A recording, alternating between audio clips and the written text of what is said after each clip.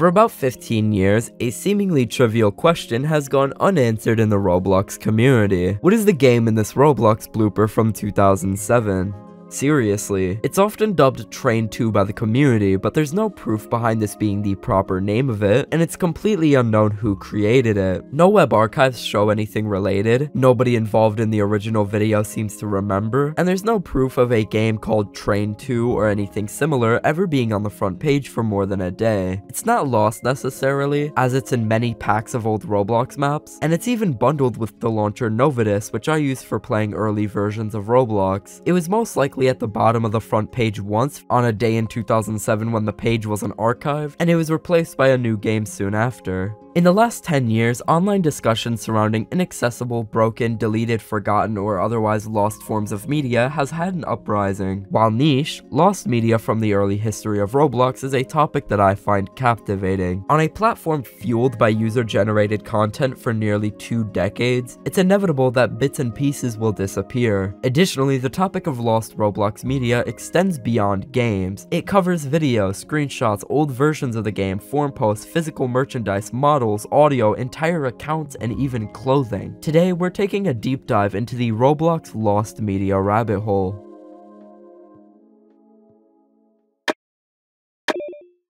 First, I want to talk about lost versions of Roblox, or clients as I like to refer to them, the actual executables for individual Roblox updates. This is the most well-known form of Roblox lost media. Roblox was worked on and even public at some points during 2004 and 2005, though despite years of searching, no clients from this era have been discovered. In early 2006, David Baszucki started posting update logs on the Roblox forums, including version numbers. This is when we start to get a good idea of what was being added in each update. Somehow captured by web crawlers on the Wayback Machine, installer files for versions from January 2007 and April 2007 were archived on a Roblox testing page called dev.roblox.com. These installers don't work, however, as they need a cab file to function. In 2017, the client search team was created and their Discord server was made shortly after. That same year, a user who played Roblox in 2007 provided the client search team with versions of Roblox from late 2007, dating back to August of of that year. Up until 2021, these were the oldest versions of Roblox available to the public. On the 14th of March 2021, the client search administrators announced that they had just unearthed a version of Roblox from March 27, 2007. This was version 0.3.368.0. An anonymous player from that time had it lying around on an old hard drive. To this day, this is the earliest version of Roblox that we can still play. This client is so old that it predates click-to-move, spawn locations, hats, and the release of Robux and ticks. This update added the chat filter, time of day setting, and the ability to import custom skyboxes into games. Despite this revolutionary discovery, clients from shortly after this are lost to time. There are even a couple lost versions from 2008 and as late as February 2009. On the 11th of November 2023, Modnarch announced that the client search team were inches away from finding an August 2006 client. They recently contacted a player who joined in early August 2006 and wasn't very active. Sadly, he reinstalled Roblox in January January 2008, overwriting almost the entirety of the 2006 client. New discoveries were made here, however. For instance, we have a few cached remnants of the installer for a mid-2006 client dated the 13th of August. It should also be noted that because Roblox has always been a predominantly Windows-based game, archives for Mac-based clients of Roblox are lacking, and the vast majority of Mac clients from 2011 and 2012 are completely lost.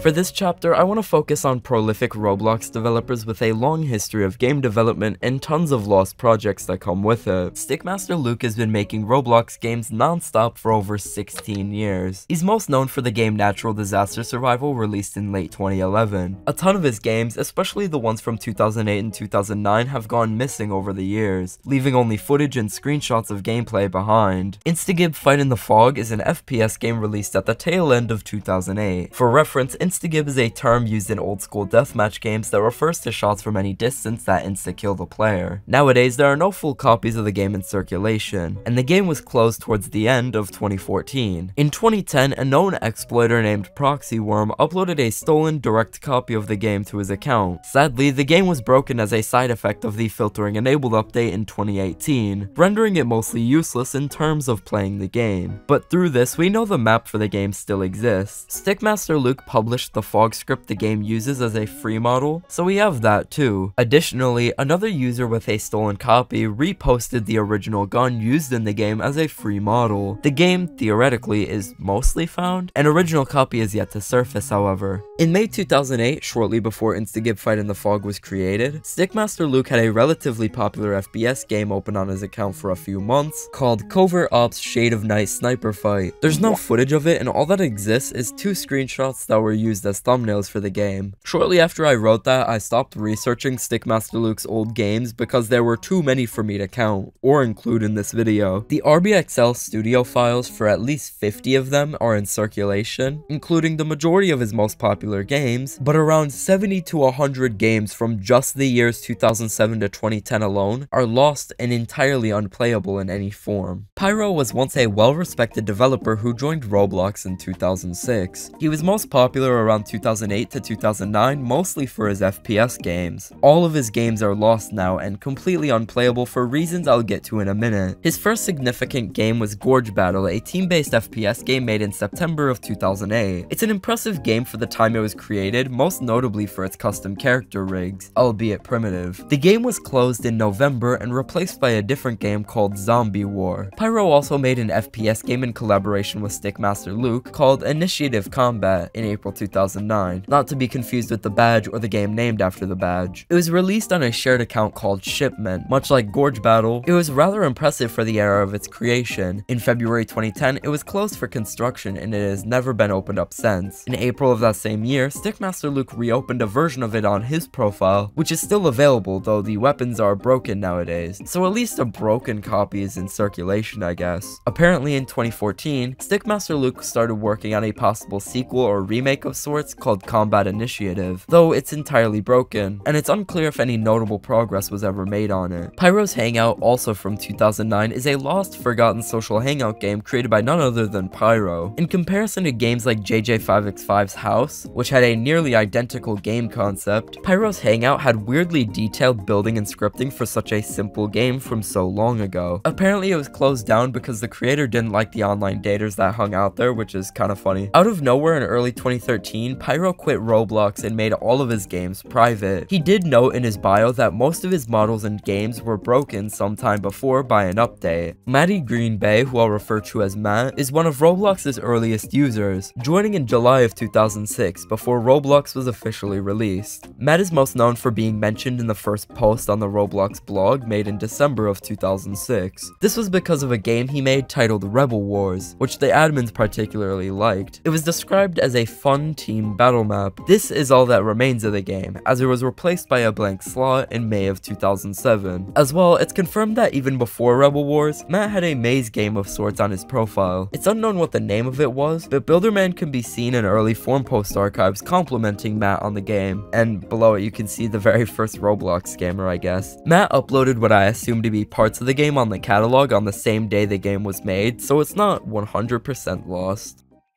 On the 11th of February 2011, Bright Eyes made a post on the Roblox blog about a special event going on, based on the Transformers Prime show on air at the time. By playing one of 10 survival games on an account called Transformers Event, you could find coins for one of two teams, and collecting 5 of these coins for either team would get you a special hat for the respective team, the Autobot or Decepticon caps. The event ended two weeks later and all the involved games were shut down. In all my time doing Roblox related videos, I'd never heard of this event, at least until this month. Little to nobody cared about it when it came out, and there's only 5 existing videos about the event, with 4 of them giving out spots for the coins. One video shows off the prizes and games involved in the event, with the creator even mentioning they made it because they wanted to show off the hats, not out of interest in the event. All 10 games used for the event are lost media. They only had about 30 to 60,000 visits each, and were mainly modified versions of pre-existing Roblox games with coins inside of them. When Clockwork started his second second summer internship in May 2008, he made tons of games in rapid succession which only lasted a couple weeks or even days each. Some examples include a game called Iron Man Missiles, an aerial-based fighting game with helicopters, this sword monument, an obstacle course on the side of a mountain that was uploaded as a teaser for the upcoming Golden Teapot hat, a game where you upgrade your weapons while fighting rainbow-colored ducks, a parody of low-quality survival games on the front page at the time called Can You Escape Death, and much more. All of these games are now lost, only leaving behind a few public assets and a select few scattered pieces of gameplay footage.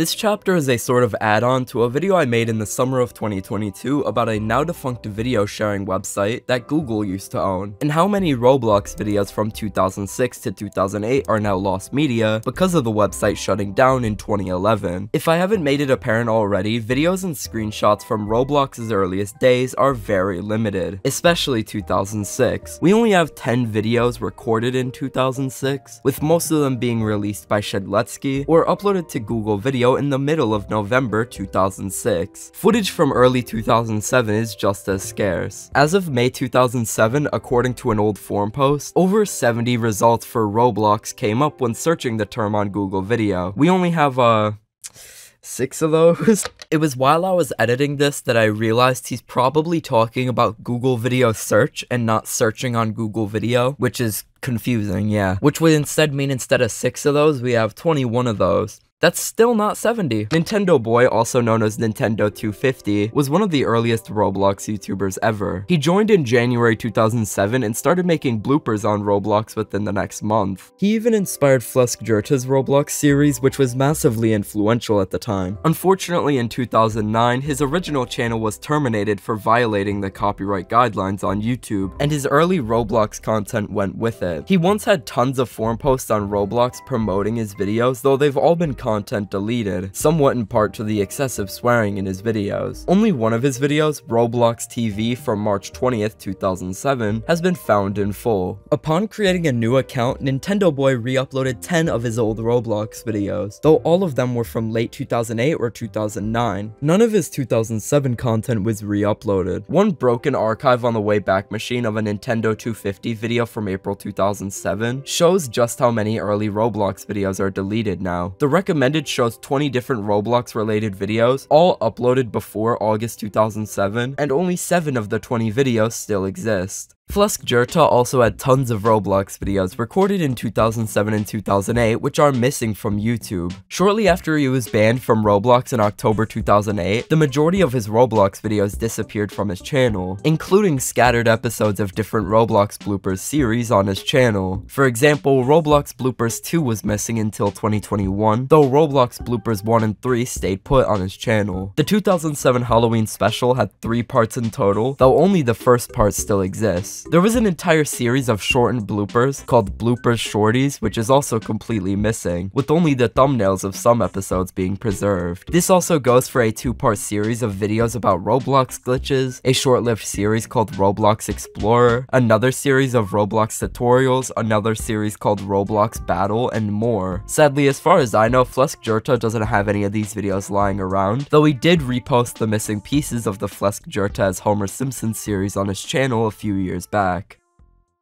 Since I started working on this video in early December, I've gone even farther down the rabbit hole of lost Roblox content on YouTube, made from 2006 to 2008. Almost every Roblox YouTuber or developer that had videos up in that era has lost content to some degree. In 2007, Stealth Pilot had a few Roblox videos up on a now deleted channel called I'm One Stealth Pilot, such as The Domino Effect, an entry for the Domino Rally Building Contest. Besides his music uploads, such as the song he made for the iconic Shirts and Pants release trailer, all of the other content from his old channel is now lost. Forum posts from December 2006 also show that he was working on videos before that, but they never released to my knowledge. JJ or JJ5x5 was one of the most popular Roblox YouTubers in the late 2000s, mostly because of his bloopers series called Roblox Gone Crazy. This is also why he has his own hat in the Roblox catalog. On his channel, there used to be a second series of loose Roblox shorts running concurrently. Most Most of the videos in this series have been deleted since, mostly random clips released between July and October of 2007. The thumbnail of one, a video called 3 Amazing Plane Kills, has since been recovered. A while ago, I found this old tribute video someone made for him in September 2007, made up of clips from JJ's channel. The video contains tons of random non-Roblox videos that are completely lost now, such as pivot animations and miscellaneous gameplay. Parts of one of the Roblox shorts, 321 Blast Off, recorded in July of 2007, were preserved in this video. And finally, the 4Moderator scripter was fired in April 2008 for uploading a YouTube video leaking the Sparkles feature before release. After he was fired, he was entirely IP banned and both the video and his entire channel are gone.